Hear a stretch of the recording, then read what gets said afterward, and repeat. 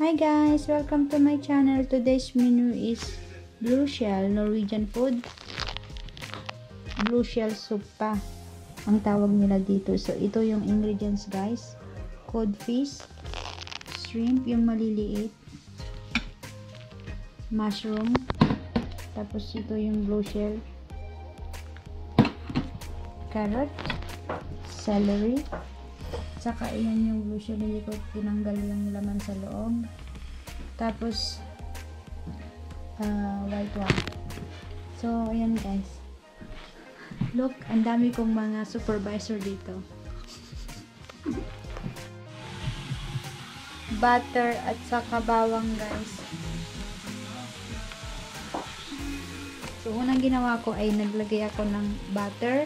Tapos, niluto ko tong bawang after naging brown, tinanggal ko siya. Tapos, nilagyan ko siya ng tubig. Tapos, ngayon, ilalagay natin yung noodles. So, guys, ngayon, lalagyan natin siya ng milk. Gamit ko ay uh, fresh milk, guys.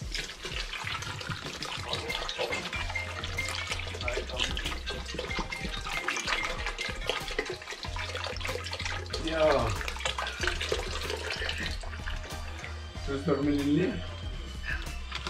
Nei. Hva jeg kan vel på deg, Frank? Hmm? Shall I go home? Nei.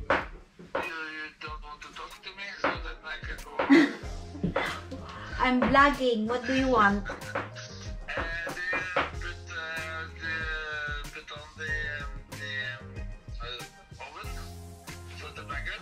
Okay. Yeah, because uh, for baguettes and uh, shrimps. Y- yes. Perfect. So, but uh, just put on the, the a bit warm and yeah, So, ayan guys. Lalagyan ko siya ng cream ulit. Para maging tasty siya.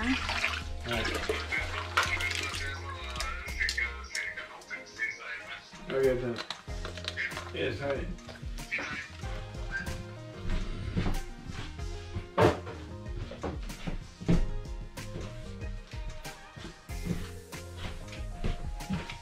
Tapos lalag lalagyan natin siya ng fish. Cubes. det. Ja, men da.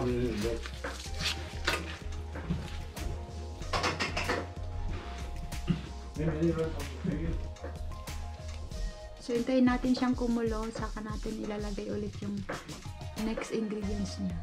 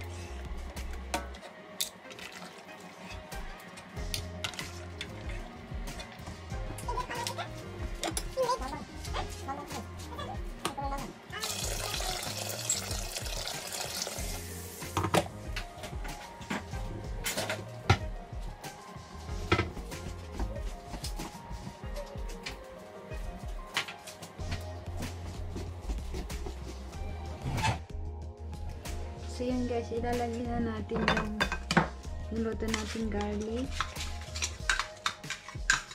Ayan.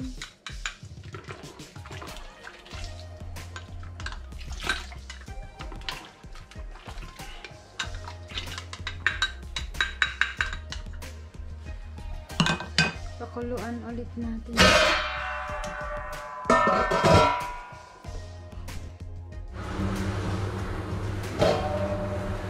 So, ayan guys, nilagay na natin yung yung mushroom.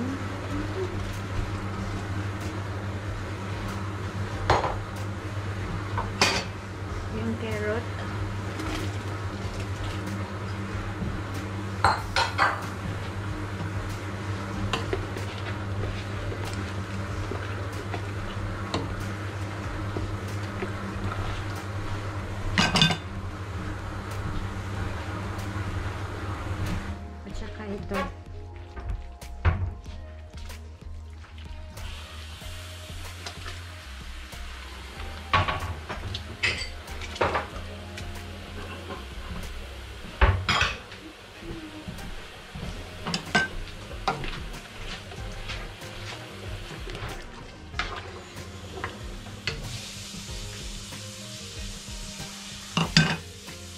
Pakuluan ulit natin siya.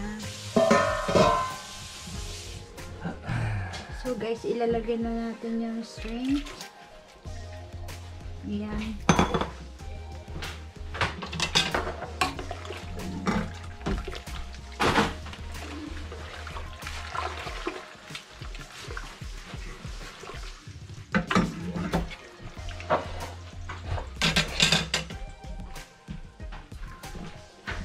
Tapos pakuluan ulit natin siya.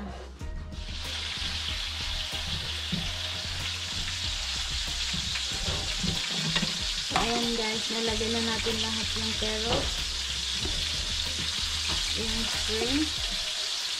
Yung curry paste. Ngayon kumukulo na siya.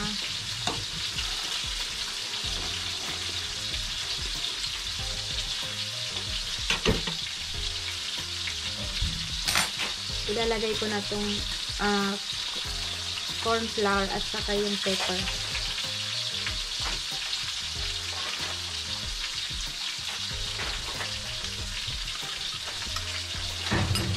para mag-thicken yung sauce.